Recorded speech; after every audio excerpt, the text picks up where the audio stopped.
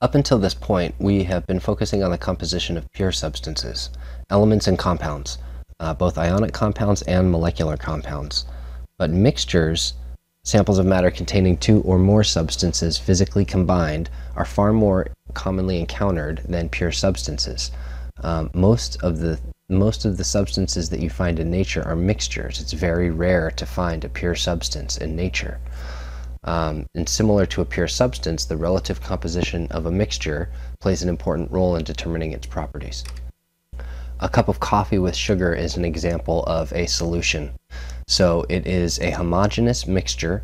Um, remember, homogeneous means that there is the same amount and the same type of compounds in every different volume of a sample so that the matter is evenly distributed throughout.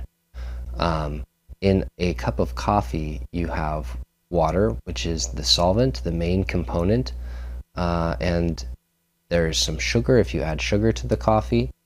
Um, there's caffeine in a cup of coffee. There is some compound that makes the coffee turn brown because caffeine is white and sugar is white and water is clear, so there must be something in there that's brown. Um, there are lots of different molecules, different chemical compounds that are inside of a cup of coffee. And they're all mixed up evenly and distributed evenly. So every sip of coffee that you take from the cup tastes the same. Um, and that's how you can tell, one way that you can tell that it's mixed up evenly. So um, solutions, again, solutions are homogeneous mixtures. So they're um, evenly mixed up. So uh, seawater is an example of a solution. There's water and salt and, and many other compounds that are mixed up in seawater. Um, solutions occur frequently in nature. The relative amount of a given solution component is known as its concentration. So again, um, there's two types of substances in a solution. There's a solvent, which is the main component, and there is at least one solute, and sometimes there are many solutes, like in a cup of coffee, there would be many solutes. So um, I think all of the solutions that we're going to talk about in this course are going to be aqueous solutions. So we'll be talking about solutions where the solvent is water. Um, that's not always true. We can talk about different liquids, um, and different liquids have properties uh, solubility properties that can dissolve certain compounds too. So the, a solution does not have to be made of water, but, it, but most of the solutions that we'll talk about in this course are made of water. So the solvent is just the component that is in that is there in a greater amount. So it's significantly greater than all other components. And a solute is there usually at a very small amount, or at least less than the solvent. Um, some other terms that are used to describe solutions. Concentrated, when the solute is, uh, has a relatively high, when there's a lot of it, um, relative to the solvent, then we might call that a concentrated solution. Whereas when there's not very much substance in a solution, we might call that a dilute solution. The molarity is the number of moles of solute in exactly one liter of solution. So um, if we're talking about a glass of water and we are going to stir some salt into the water and make some salt water, um, we can talk about how we can talk about the volume of salt. If we're at home and we scoop some salt, would would probably be measuring it with a teaspoon or something. So that's one way we can measure how much salt I put. I can tell how many liters of, of water I have, or I can fill up a cup, how many cups of water I have and I might use a teaspoon to measure the salt. Um, but if I had a balance, I could measure the grams of salt and say how, much, how many grams of salt, how many grams of solute am I going to put in this glass of water. And remember, if I know how many grams of solute I have, I can convert that into moles of solute by using the molar mass. So for salt, for example, the chemical formula is NaCl, sodium chloride. So if I look up the mass of sodium and chloride on the periodic table and calculate the molar mass of sodium chloride, then if I measure how many grams of salt that I'm putting in the water, I can calculate how many moles of salt I'm putting in the water, how many moles of solute. So the molarity, that's one way that I can keep track of how much solute I'm putting in the solvent. And the we're in this specific unit, it's the molarity has the moles of solute in the numerator, and you divide by the liters of solution in the denominator. So um, there's lots of different ways that I can talk about how uh, the concentration of a solution. And the concentration is just how much solute there is um, per how much solvent, per unit solvent. So uh, molarity is just one one unit among many, and we'll talk about some others. Um, and um, when we're talking about solutions, uh, what we'll focus on in this chapter, at least, is just talking about ways that we can try to quantify how much solute is dissolved in the solvent. So here's one example of calculating the molarity. Uh, a 355 milliliter soft drink sample contains 0.133 moles of sucrose, which is sugar. What is the molar concentration of sucrose in the beverage? So, um, if we know the moles, remember the molarity is just the moles of solute per liters of solution. So we are given two numbers here. And um, this number has units of moles. So in my molarity, I have moles of solute as the numerator. So um, I can just put this number directly in the numerator of this calculation. So over here, 0.133 moles. Um, for the numer for the denom excuse me the denominator, um, the molarity has units of liters of solution, but my units that are given up here are milliliters. So the first thing we would have to do is convert milliliters to liters. And remember, the way to convert uh, something within the metric system is to look at our table of prefixes and determine what the unit prefix, what number that um, unit prefix is um, represents. So in this case, when we have ml in the numerator, milliliters, I would put ml in the denominator down here, and um, if I have milliliters in the denominator and I'm trying to convert to liters, then remember what I'm trying to do is figure out what does this little m represent. So we look that up on our table of prefixes and we see that little m, milli, corresponds to the prefix multiplier 10 to the negative 3. So m equals 10 to the negative 3. So ml equals 10 to the negative 3l. So, um, you'll see in the calculation above, they did this slightly differently. So it's true that um, one milliliter is equal to one one thousandth of a liter, which is what I've written in, in my conversion here. That's the kind of information that you would find on your conversion chart. But it's also true in the conversion that they've given here that 1,000 milliliters equals 1 liter.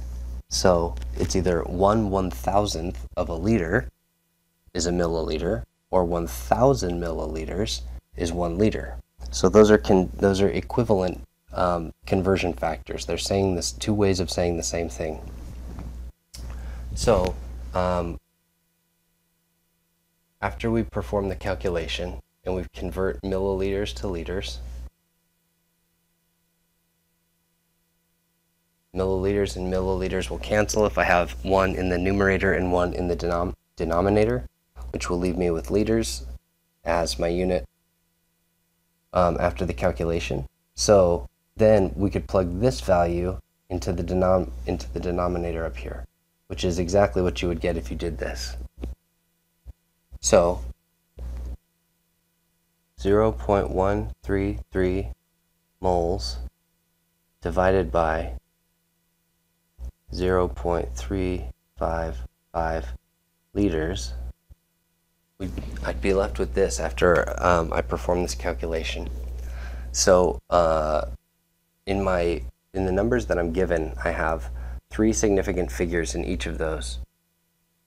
So that means I can keep three significant figures in my answer, and I'll look to the first number after the significant figures to determine how I will round, if I round up or down.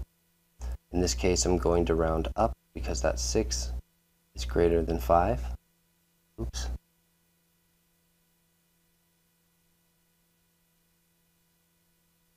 And now, the units that I have after I perform this calculation are moles per liter.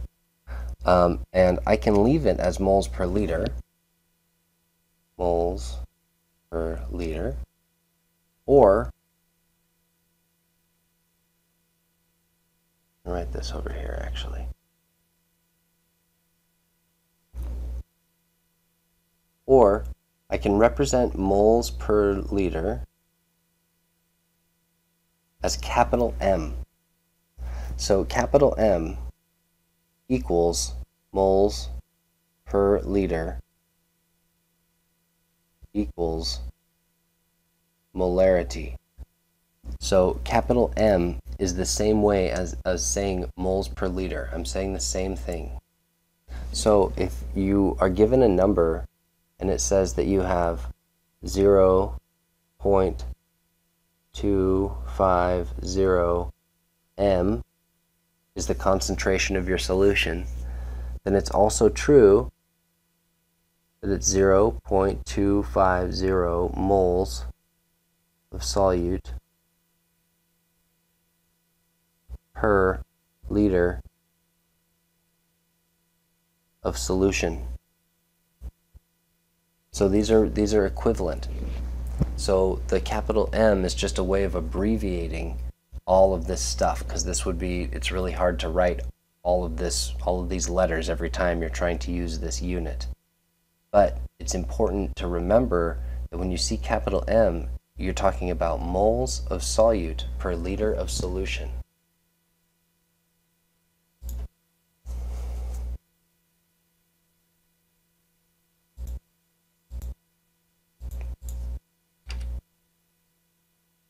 Vinegar is another example of a solution.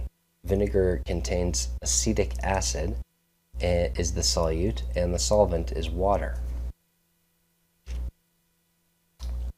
Dilution is the process whereby the concentration of a solution is decreased by the addition of solvent.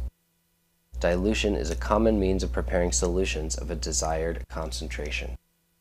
So typically we'll make a very concentrated stock solution that has a lot of solute and not very much solvent. And then uh, if we if that's made to a precise concentration, then we can dilute that very concentrated sol that very concentrated solution to create uh, less concentrated solutions and um, eventually get the uh, a very precise small concentration. If you're trying to weigh um, a very small amount of solute to dissolve into water, it's generally hard to, especially if you don't have a very precise balance, it's very hard to get a very small, an accurate amount of a very small amount of substance. So it's easier to put 10 times as much. It's easy to weigh a big substance and then you put 10 times as much into um, into the solvent and make a very concentrated stock solution. And then you can dilute it 10 times to get down to that very small amount that it would have been hard for you to weigh on a balance. That's the idea here with a stock solution. So here's an example of a dilution. The first solution on the left is very concentrated, or at least more concentrated than this. And you can tell by the color the solute in this case is blue, the solvent is water, and the blue solute, the, the darker the blue color is, the more solute there is per unit of solvent. So in this, there's the same mass, let's say it's 5 grams, since they don't tell us, 5 grams of copper nitrate in here, and 5 grams of copper nitrate in here. So there's the same number of particles let's say, let's just call that um, 0.1 mole. if there's 0.1 mole of copper nitrate particles in here and 0.1 mole of copper nitrate particles in here, then if the difference is that this one has twice as much water as this one, they have the same amount of copper, but this one has twice as much water. So that makes it look twice as as light. It's, or or half as dark as this one. And if I were to take this solution and put it into another graduated cylinder and add another equal volume of water, it would become even lighter. And that's a, called a serial dilution, where I can take a very concentrated solution that's very dark and continually add water to it to make it lighter and lighter and lighter. It's, be, it's becoming diluted.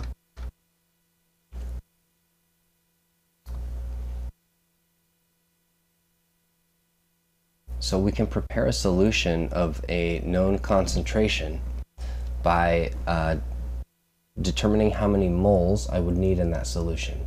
If I'm trying to uh, prepare a solution with a known molarity, and remember molarity equals moles of solute per liter of solution. And if I know what molarity I need, then I can calculate how many moles of solute I need. And if I know how many moles of solute I need, then I can use the molar mass to convert that to grams. And it's easy to weigh a substance. So I'm trying to make a uh, solution of potassium permanganate. And um, I don't have an instrument in, in the laboratory that I can scoop out a scoop of potassium permanganate and put it on this instrument to tell me how many moles there are. But I do have an instrument that I can scoop out some of this stuff and put it on this instrument and it will tell me how many grams there are and that's called a balance. So if I weigh this substance and I can determine its mass, how many how many grams there are, then I can um, convert that uh, into moles or in this case, if I know how many moles I need, I can convert that into grams. And that way I have just the right amount of substance to prepare a solution on this side, a solution with just the right number of particles per amount of water. So this is called a volumetric flask and it's got a little line right here at the top. So I, you put the substance in the volumetric flask and then you put water in the flask and fill it right up to this line. So you see, here's the line right there. And when you do that, then you have exactly 1,000 mils of solution. So if I know exactly how many moles of solute this is, and I have exactly 1,000 mils of solution, then um, I can precisely calculate what the molarity is. And that's one way of representing the concentration of this solution, how much solute there is and how much solvent there is.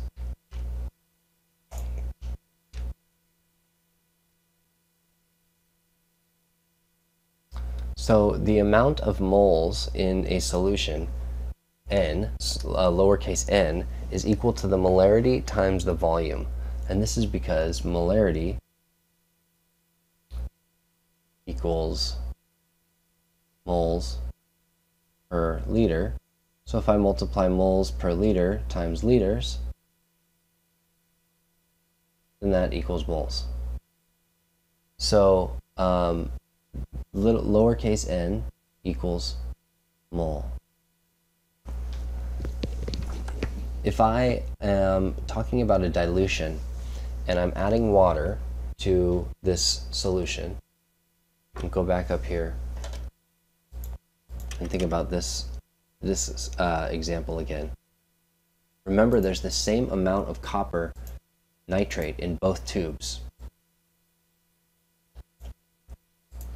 Remember, there's the same amount of copper nitrate in both tubes.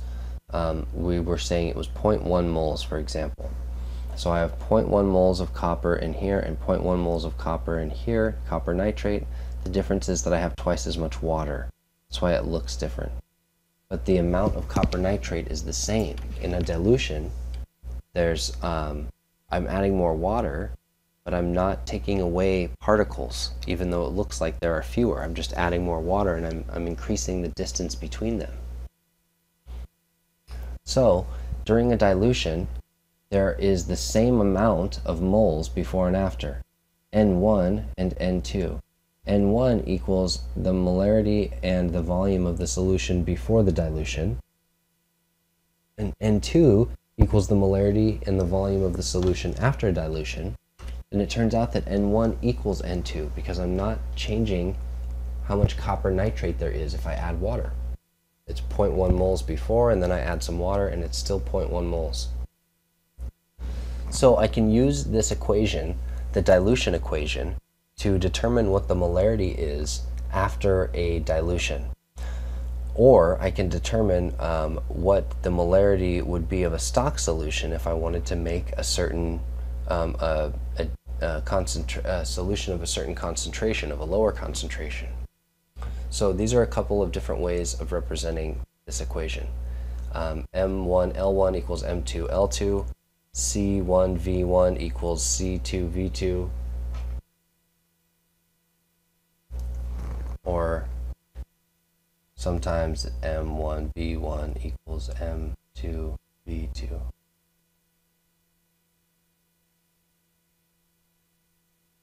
They all mean the same thing. Concentration times the volume of one of the first solution equals the concentration times the volume of the second solution. All right, so here's an example. If 0.85 liters of a 5 molar solution of copper nitrate is diluted to a volume of 1.8 liters by the addition of water, what is the molarity of the diluted solution? So whenever you see a problem like this, you should start to um, circle the numbers and just separate the numbers from the rest of the information. Okay, so this says I have 0.85 liters of a 5 molar solution. So um, I have, they're using C and V here. So C is concentration. So do I have a concentration here? Liters, capital M, which is molarity or molar, and uh, 1.8 liters. So this one is a concentration. Remember, capital M, molarity, that's a concentration. So let's call this C1. I have a concentration 5.1 molar. We call this labeling our variables, labeling our, the numbers, the quantities that are given in, in the question. So whenever you're given numbers, the way that you're going to solve problems like this, and there are going to be a lot of problems like this in this class, we're going to have different equations where there are different variables, and we're given a word problem like this that gives you numbers, and you have to plug the numbers into the equation and solve.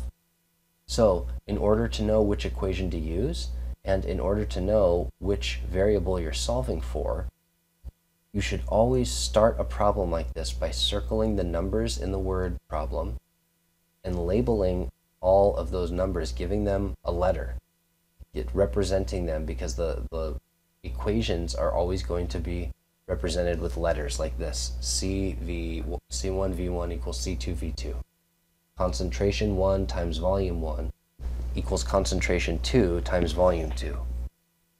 So uh, I have C1, and these two values go together. I, this says I have 0.850 liters of a 5 molar solution. So these, this is, I have 0.85 liters of a 5 molar solution. So these are, this is one solution, right? I can imagine my beaker with some stuff in it.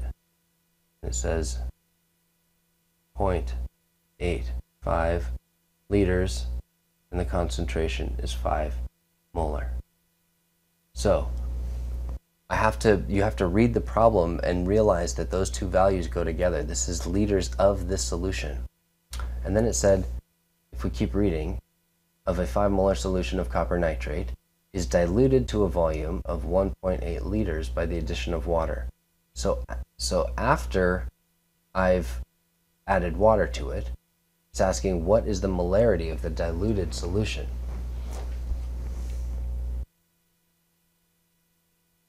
So I have these two values go together because they're describing the same solution. And then it says it's diluted. So if it's diluted, it's a different solution now. So it's diluted to 1.8 liters. So I have two volumes, 0.85 liters and 1.8 liters. V1 is the one that is connected to the concentration that I called C1. So C1 and V1 have to be talking about the same solution in this case. I can't say that V1 is 1.8 liters because the molarity of the 1.8 liter solution, I don't know what it is. It says I diluted this to a volume of 1.8 liters. What is the molarity of that diluted solution? So I can't say that if volume 1 is 1.8 liters, that concentration 1 is 5 molar because I don't know what the concentration is according to this question. So this process of labeling your information, the information from the question, is not particularly straightforward. It's important to practice this and look at these and, and, circle all the numbers as a first step. Circle what it's asking you to do, what's the molarity, and then start labeling the, um, the numbers that you're given. So then I have C2, V2. In order to solve the, this equation, I'm going to need to have at least three of these four variables. And if I have three of the four, then I can solve for the fourth. And that's generally how problems in this class are going to work. I'll have an equation that has room for three or four or five variables, some number of variables, and I'll be given information in the question that will fill in all of the blanks except one. And then I rearrange the equation using algebra and I solve the problem for that last unknown. So in this case, C2 and V2 are what I oh, still have left to label. I still have this that I haven't put anywhere yet. 1.80 liters is a volume. So I'll put that down here, 1.80 liters. What's the concentration of that solution that has a volume of 1.8 liters? Well, I don't know. That's what the question is asking. What's the, what's the concentration of the solution? What's the molarity? So after I label all of the information from the question, this is what I get. C1, V1 are, are known. V2 is known, but C2 is not known. That's my unknown, C2. So I'm going to rearrange this equation. C1 V1 equals C2 V2. I'm going to rearrange this equation and solve for C2. So how would I rearrange this equation and solve for C2 if I'm doing algebra?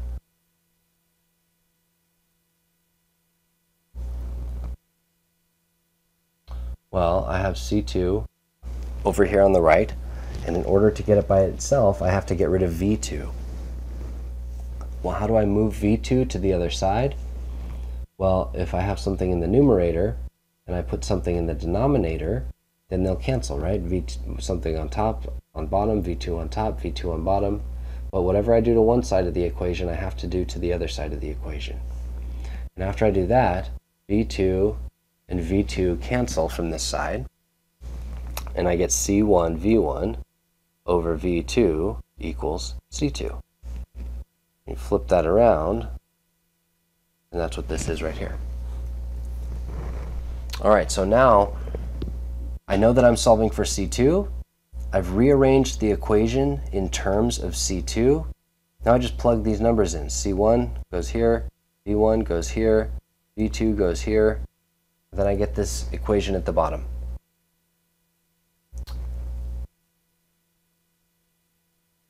So after I multiply these numbers together, how do I know what units I have?